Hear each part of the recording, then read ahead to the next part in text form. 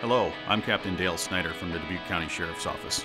Were you aware that when a school bus stops on a divided two lane street with traffic coming from both directions, the vehicles must stop in both lanes?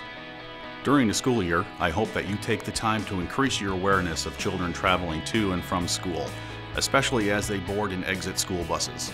The Dubuque County Sheriff's Office, along with the Dubuque Police Department and the Dubuque Community Schools, are striving to create the safest environment possible for our students. And you can help us. From either direction, at any time of day, when you see a school bus stop arm, remember, stop means stop.